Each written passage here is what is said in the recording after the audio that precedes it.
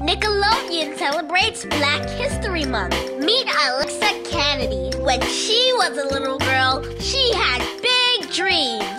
She wanted to be a doctor, a brain surgeon to be exact, so she could help people's brains when they were sick. Alexa Canady studied really hard, and when she grew up, she became the first African American woman ever to become a brain surgeon. Dr. Canady children's brain surgeon who loved making her patients feel better. Sometimes they even drew her pictures just to say thank you. Kudos to Dr. Canady, who really used her noggin. Learn more about Dr. Alexa Canady and find great Black History Month activities at parents.nickjr.com.